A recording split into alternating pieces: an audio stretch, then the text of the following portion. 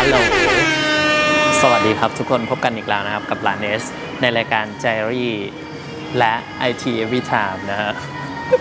ทำไมหลังๆนี้มันแยกเนื้อหาของรายการไม่ออกว่ามันจะไปอยู่ในช่องไหน เออ รายการ Diary แล้วก็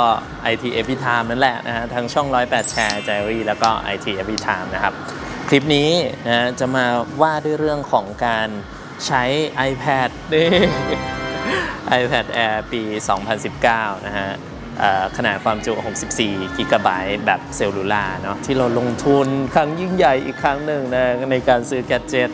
ของค่าย Apple นะฮะมาเพื่อการเรียนรู้ต่างๆนะฮะก็เลยจะไม่ปล่อยให้มันแบบว่าทิ้งล้างไร้ประโยชน์นะแต่ว่าเราก็ใช้ ตลอดเวลาอยู่แล้วนะ ประจวบกับการที่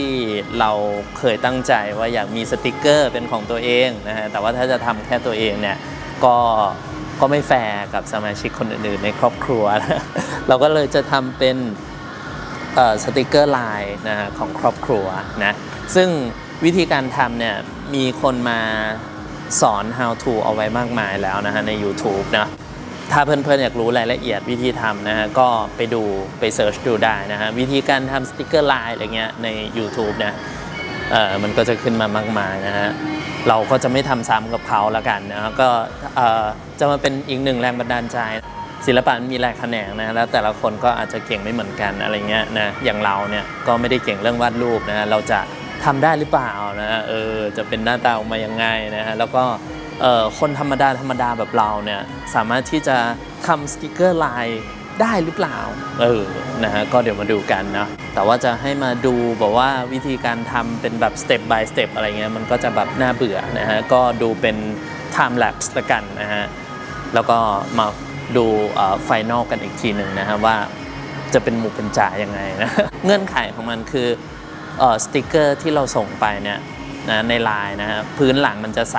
นะฮะนามสกุลมันต้องเป็น PNG นะอันนี้บอกเป็นความรู้ด้าน IT นะฮะซึ่ง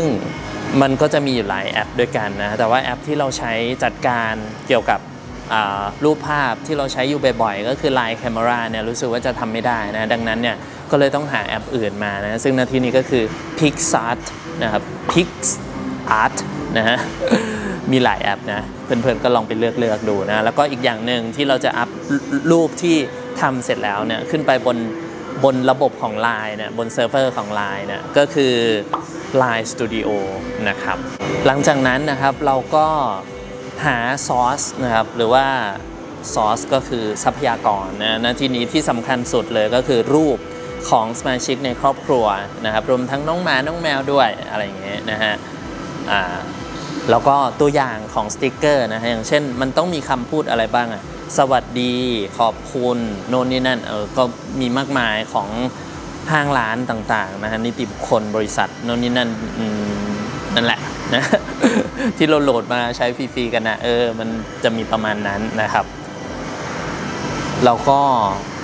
อุปกรณ์นะฮะอุปกรณ์ที่ใช้เนี่ยก็ถ้าใช้เป็นไอเอ่อ สมาร์ทโฟนเนี่ยมันก็จะลำบากนิดนึง เพราะว่ามันจะต้องใช้ปลายนิ้วของเราวาดเนาะ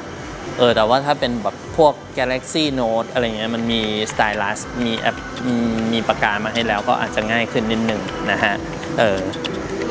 นั่นก็เป็นอีกเหตุผลหนึ่งที่บอกว่าในอดีตเราไม่เคยแบบว่าตั้งใจทำมาก่อนนะแต่ว่าวันนี้เรามีเรามีอันนี้แล้วนะก็เออจะได้เป็นที่ระลึกว่าแบบนี่ ของการได้มาซึ่ง iPad อะไรเงี้ยนะฮะโอเคอะไปทำกันเลยนะครับ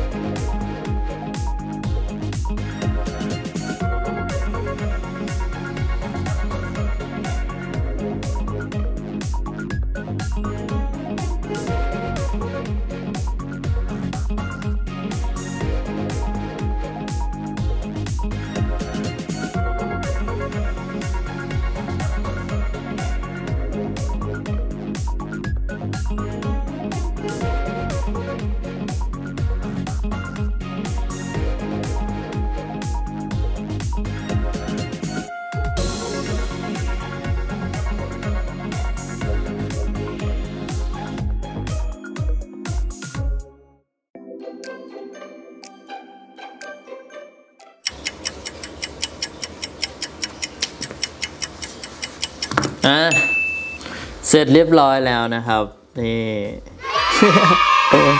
ก็เป็นสมาชิก เอ้ยเรียงลำดับก่อน สมาชิกในครอบครัวของเราทั้งหมดนะ ทั้งคนและสัตว์นะครับ ขั้นต่อไปก็คือยื่นคำขอจำหน่ายเนาะซึ่งก็คงไม่มีปัญหาอะไรนะครับ เพราะว่าเราก็หนึ่งคือมั่นใจว่าไม่ได้ละเมิดลิขสิทธิ์ใครนะครับ แล้วก็สองคือไม่ได้มี ความความลามกจกกระเปรตอะไรเงี้ยเออนั่นแหละนะโอเคครับผมก็นี่แหละเนาะเป็นวิธีการทำสติกเกอร์นะครับสำหรับทุกๆคนอ่าหวังว่าคงจะเป็นแรงบันดาลใจนะครับ ให้กับโดยเฉพาะอย่างยิ่งผู้ที่มีพรสวรรค์ในการวาดรูปนะฮะแล้วก็ มีอุปกรณ์ต่างๆ อย่างนี้นะฮะก็ใช้มันเป็นประโยชน์นะ ขนาดเรานะวาดแบบว่าวาดแบบขอไปทีก็ยังสามารถที่จะทำสำเร็จได้นะใช้เวลาโดยประมาณเนี่ยประมาณ 1 ชั่วโมงครึ่งโอเค อะ คลิปนี้ก็ถ้าชอบอย่าลืมกดไลค์นะฮะ ใช่กดแชร์แค่ subscribe แล้วก็ขออภัยด้วยถ้าเกิดมีว่ามีอะไรผิดพลาดบางประการนะครับ อ้อสำหรับแอปที่เราใช้เนี่ย เราก็ยังคงยืนกรานของการเป็นคนที่แบบว่า ใช้ของคุ้มนะแล้วก็แบบที่เหนียวต่างๆ อะไรเงี้ยนะเราไอแอป p i x a r t อะมันต้องซื้อนะฮะให้ใช้ฟรี 3 วันแล้วก็ซื้อเช่าอะปีละ1,200บาทนะ เรามองว่ามันแพงเกินไปนะ เอาเอาไว้ดู feedback จากอันนี้ก่อน ซึ่งก็คงไม่มี feedback หรอกนึกออกไหมเราทำเป็นแบบ เออเป็นหน้าของครอบครัวเราอะคือมันจะมีใครมาซื้อนึกออกไหมเออเว้นแต่ว่าครอบครัวของเราเอง ซึ่งเราก็คงซื้อ gift แล้วก็ส่งให้ทุกคนโหลดไปใช้อะไรอย่างงี้นะฮะอะก็ใช้ใช้แอปอันเดียวเลยนะฮะ ก็คือ Line Studio อันเดียวเลยนะ ทั้งทั้งการแบบว่า die cut รูป